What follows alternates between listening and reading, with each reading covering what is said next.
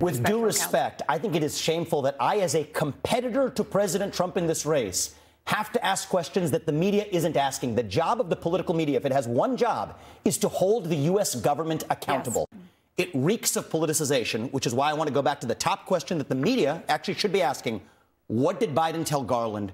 What did Garland tell Jack Smith? That's well, what you need to be getting to the, the bottom the, of.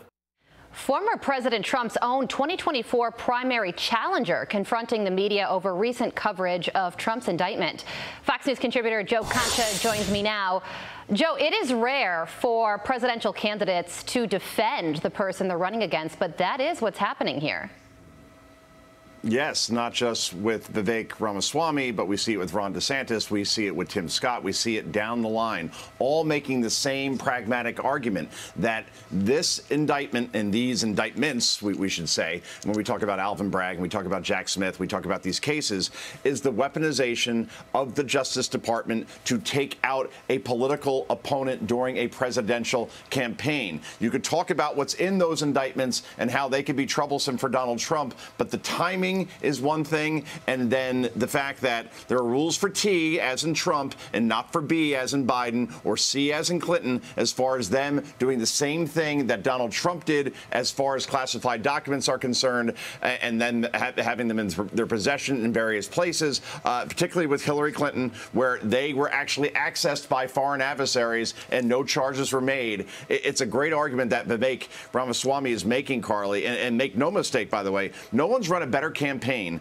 during this presidential primary season than Vivek Ramaswamy. And that's how you say his first name, by the way. It rhymes with toothache. It's Vivek, not Vivek. And I can't wait to see him on a debate stage. And look, th- this election, I'll leave it here, is shaping up exactly the way Joe Biden and the Democratic Party wanted to in terms of media coverage all the focus on Donald Trump and not his policies when it comes to trade or immigration, border security, taxes, foreign policy, education, but his legal troubles, and zero focus on Joe Biden's record when it comes to inflation, wages not keeping up with inflation, crime, education, the border, Taiwan, China, Russia, Ukraine. You could go down the list. Joe Biden is polling horribly on all of those fronts, but we're not talking about him, are we? Mm. If you watch the Sunday talk shows and all weekend, it was all about Donald Trump and not about the issues, but yeah. about these legal cases. And that's the way it's going to be through 2024, Carley. Well, let's keep on talking about what's going on on the Sunday talk shows because Senator Lindsey Graham did some TV yesterday and he clashed with George Stephanopoulos. Listen to this and when an investigation Senator, is had about your activity. No, let me finish.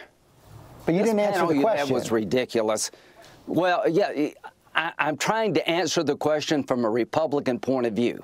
That may not be acceptable on this show, and the senator went on to say the former president may have done something wrong, but there's a two-tiered system of justice, and espionage uh, charges are ridiculous. So really what Republicans are doing, they keep on talking about the two-tiered system of justice, how Republicans aren't treated different, differently than Democrats.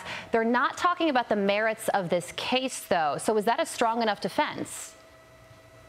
You have to wonder. I mean, we'll have to see as this process goes on if there is a really a there there as far as what the indictment says and what Donald Trump actually did.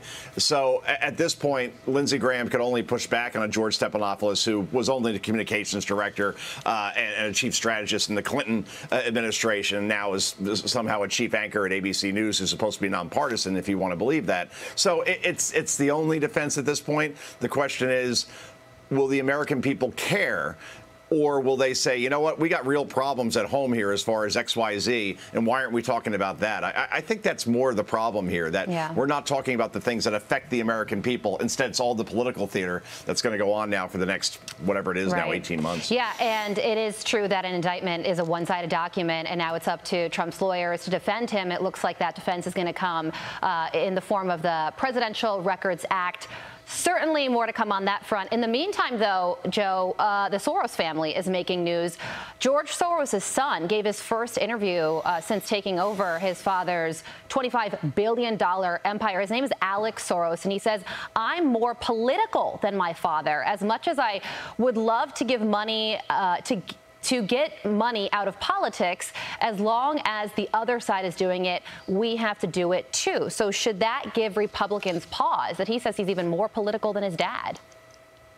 Yeah, and when we talk about money, we're not talking about, hey, let's give a couple hundred dollars to this foundation or to this particular campaign. We're talking billions upon billions of dollars here. And if you, you know, if you watch the show Succession, this is it. You're actually seeing it in real time as far as George Soros uh, being way up there and now his son taking over. He's going to be more politically focused, more politically active. Uh, that's very bad news if you are against, you know, crime in general, because what George Soros Soros does, he puts people like Alvin Bragg and others into district attorney offices, and then they don't enforce the law in any way, shape, or form, where criminals are back out in the street over and over again like a revolving door, and police officers can work as hard as they want to. Yeah. As long as the Soros family is involved, you're going to have crime way high in cities from San Francisco to Chicago to New York because of this wretched family, and that's the only way you can describe them at this you point. You are right on the crime front. Alex Soros also said our side has to be better about being more patriotic and inclusive.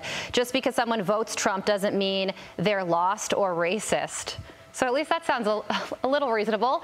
Joe, got to leave it there. Thank you so much for joining us this morning. Always great to see you. I'm glad to be here because Corke is here. Kevin, I mean, I don't know. He's usually a midnight guy. Did he? Did you stay up the entire night, Kevin, and then just decide to do this, or how's it work with you? You're hilarious. I should have stayed up all night. I took a nap, but I'm good to go. Good to see you, my friend. Thanks, As Joe. always, thank You're you, like Kevin, Thank take you. it away. Right, man. I'm Steve Doocy. I'm Brian Kilmeade. And I'm Ainsley Earhardt. And click here to subscribe to the Fox News YouTube page to catch our hottest interviews and most compelling analysis.